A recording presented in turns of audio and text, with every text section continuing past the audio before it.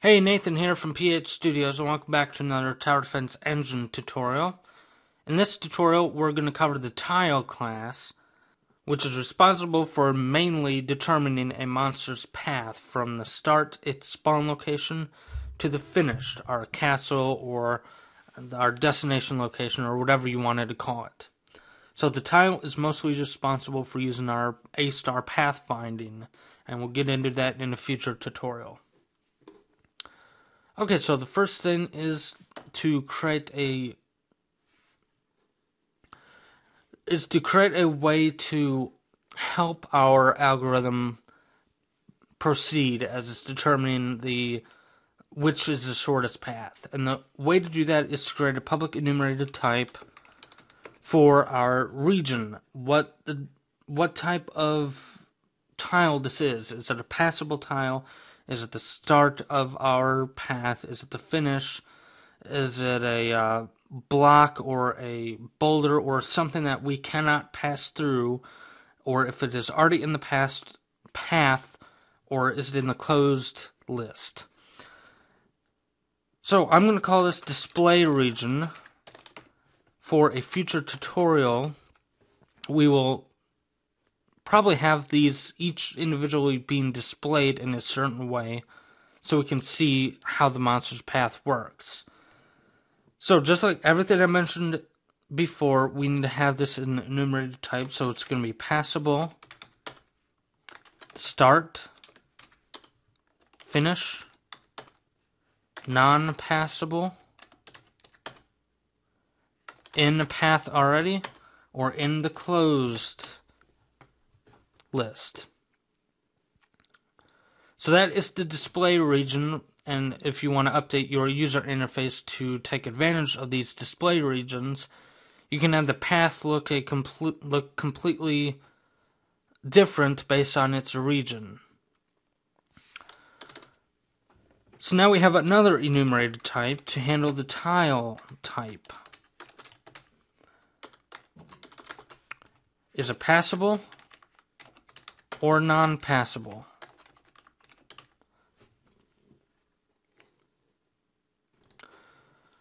Okay, so next up is the properties where we'll have to actually use these enumerated types and create a property of that. So public tile type, let's just call it type.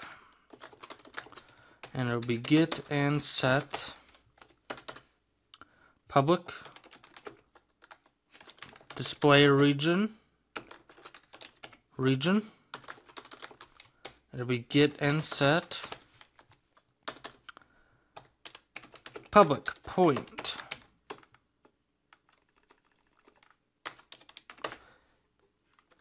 And then we need to add using Microsoft.Xna framework at the top and then the map location where this tile is in the map. And we'll have get and private set.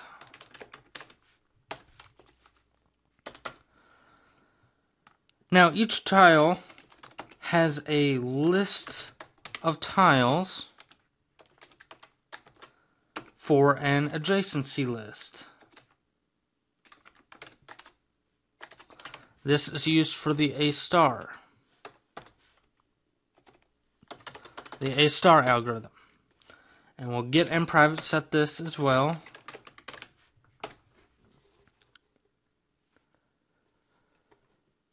Now, A star uses heuristics in order to help its process, help determine which tile is the best fit.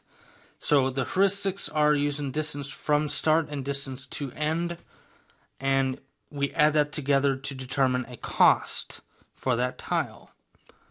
So public int distance from start get and set and then public int distance to end get and set. And then each tile has a reference to its parent the way A star works is we go through, we pick the best tile throughout the list until we get to the end tile. and then we go in reverse and go to the tile's parents. So at the very end, we go to the end tile's parent, and then that parent, that tile's parent, and then we keep on going back until we reach the start node again. So public tile parent get and set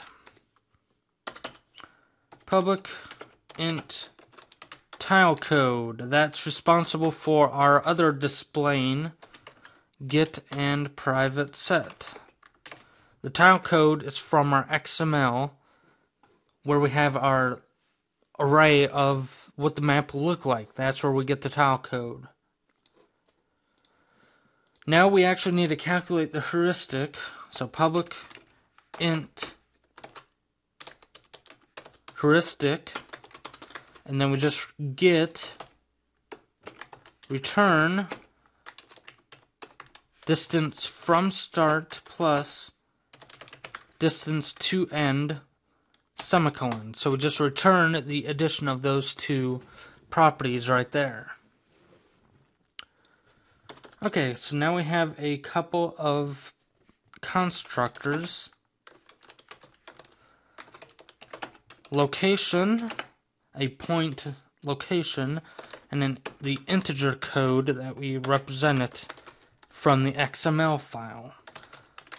So we have a map location property and we just set that to the location point we pass into the constructor. We set the type to passable. By default, it is passable. Distance from start is 0 and the tile code is equal to code. And then we have the second constructor, public tile, tile type, type, point location, and int code. map location is equal to location. The type of our tile is equal to the type we pass in.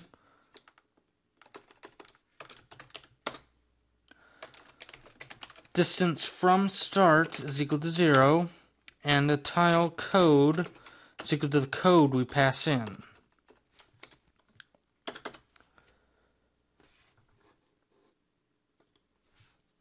Okay, so we have an adjacency list, which is just a list of tiles, but we need a way to add tiles to that adjacency list.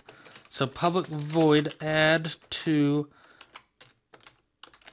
adjacency list, and we need to add a tile t to that list.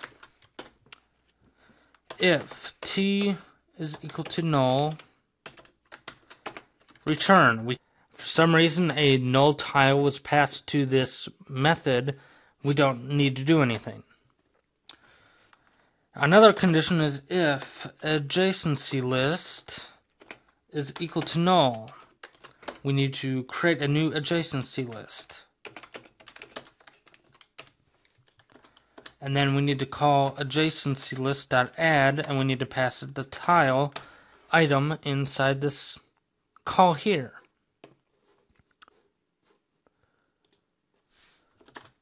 One final thing we need to do is we need to override the toString method and we need to create a way to represent our tile in a string format. So we call public override and then we say we want to use the toString. So it's public override string to string and we return map location dot toString plus quote a colon end quote plus adjacency list dot count plus quote space c colon end quote plus tile code dot toString opening closing parentheses, and a semicolon. So what this will do is if you're ever debugging and you need to be you need to make sure that the tiles are working correctly, it'll give you its location. So if you're following it on a piece of paper or somehow if you're following the algorithm and want to make sure everything's working properly correctly, you can check its location so you know what tile you you need to focus on, the number of tiles in its adjacency list. So somehow your adjacency list is not being calculated, it'll have a count of zero, and then you it'll show your tile code. So you can be sure that the data transferred between the XML to the tile object is correct. Alright, so that's it for the tile class. You can go ahead and save this, and next we'll work on the path class. So I hope to see you next time.